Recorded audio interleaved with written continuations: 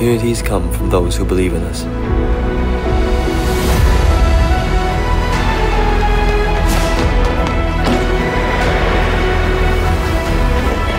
Dengan sokongan yang betul, kita boleh mencapai potensi kita.